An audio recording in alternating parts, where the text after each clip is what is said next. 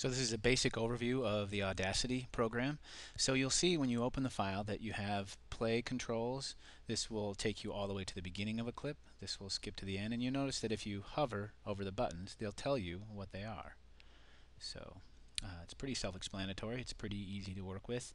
You have cut and paste tools, you have zoom tools, but what we need right now is uh, an actual sound file to work with. So in order to get one of those you can go to open this will also tell you recent files that you've used, so this is a quick way to open files if you've been working with them already. If you're new to this, uh, you won't have any of these. So let's just go ahead to open.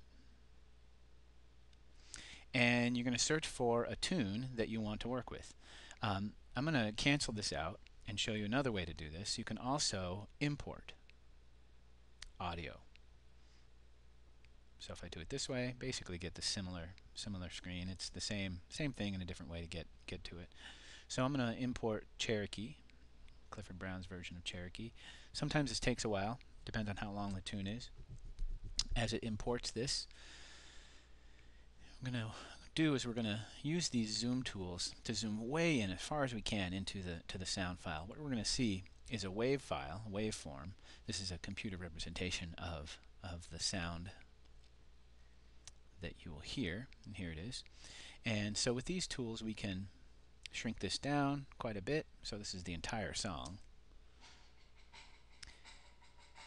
Or you can zoom this in all the way to the level of one little bit of data. So this is one teeny tiny sound bit. Now if you want to mess around with this, you can take each one of these and tweak it and um, something that's at this small of a level, you probably wouldn't even be able to hear this, this change that I've done. It might be a little blip in the sound. Um, if you do something that you don't like, you can always Control Z, which will take out the changes that you've made. So we're going to zoom back out to the whole song so we can see the whole song. And you've got some other controls here. Here's the volume control. This is the mic sensitivity if you're recording. Uh, we're not going to record here. We'll do that in a little later version. Um, there's a whole bunch of things that you can play around with. There's all kinds of editing,